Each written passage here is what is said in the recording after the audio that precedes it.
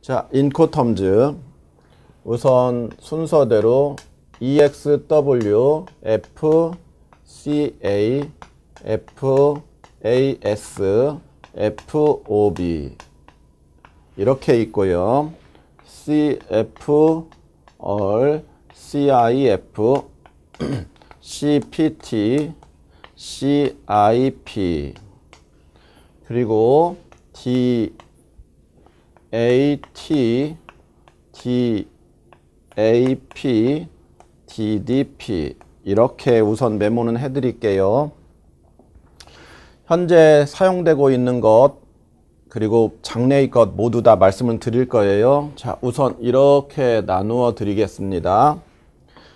보드에 쓴 것이 인코텀즈 11개 조건을 다 쓴 건데요.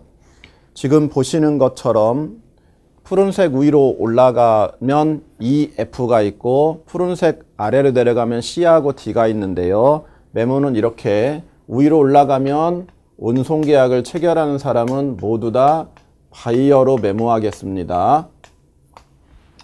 푸른색 아래로 내려가면 운송계약 체결하는 사람은 셀러로 이렇게 정리해 드리겠습니다.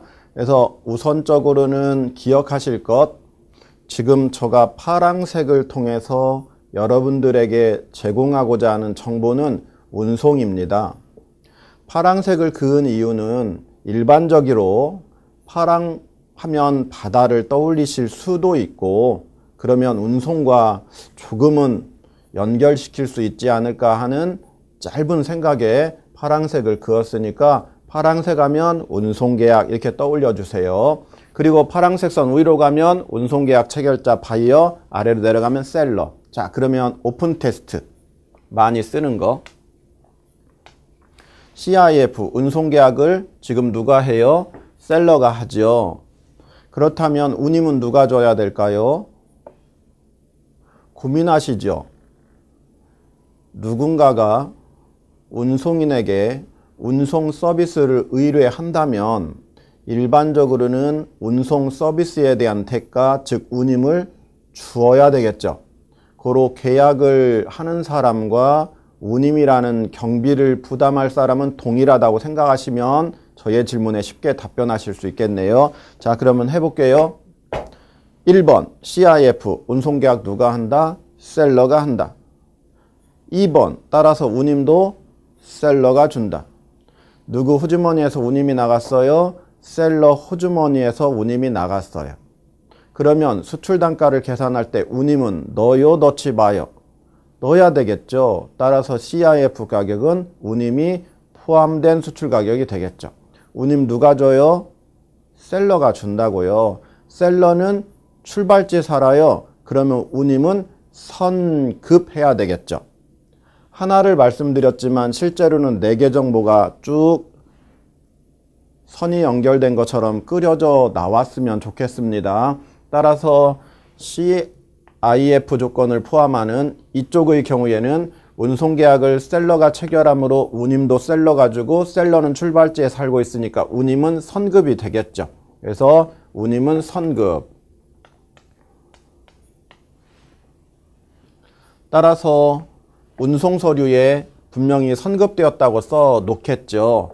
하나는 기억을 해주시기 바라고요. 다음 반대는 이제 쉽게 정리할 수 있죠. 바이어가 운송 계약 하니까 운임도 바이어가 줄 것이고 수출 단가 속에 운임은 포함시키지 않아야 될 것이고 수입자는 도착지에서 영업 활동을 할 것이니 운임은 착급 되겠죠. 그래서 운임은 후급. 그래서 후급으로 많이 신용장에 쓰고 있는 영어 단어가 collect가 되는 것이고 선급은 뭐 말 그대로 많이 쓰시는 거 prepaid 이렇게 쓰겠죠. 거기까지 연결하시면 되겠어요. 자, 이것을 신용장과 연결시키겠습니다. seller 있고 바이어가 있습니다. CIF 조건으로 무역을 하면 seller가 운송 계약을 체결합니다. 그러면 이쪽에 carrier가 있을 때 seller가 carrier에게 주는 것은 화물과 플러스 운임일터 그러면 carrier가 seller에게 주는 운송 서류 첫 회차에 이야기했던 해상 운송을 이용하면 BL을 끊어줄 건데 BL에다가 기재할 때 물건을 받았습니다. 한편 프레이트 운임도 받았습니다. 라고 써서 셀러한테 영수증을 주겠죠. 고로 신용장에서 혹 서류를 내놔라 라고 요구한다면 운임 선지급되었다고 써있는 운송 서류를 내놓아라 하면은 셀러는 이 서류를 은행에 제시할 수 있겠네요. 첫째.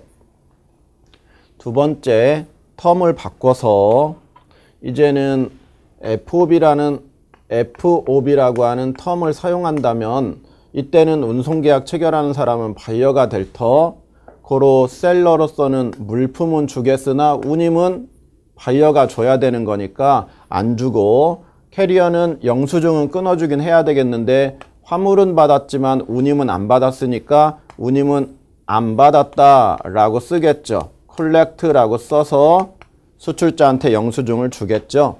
고로 이 상황에서는 은행이 요구할 때 운임은 후급이라고 써 있는 영수증을 주세요 하면 수출자가 낼 수 있겠죠. 이렇게 연결시켜서 이해하시면 충분하겠습니다. 여기까지 운송계약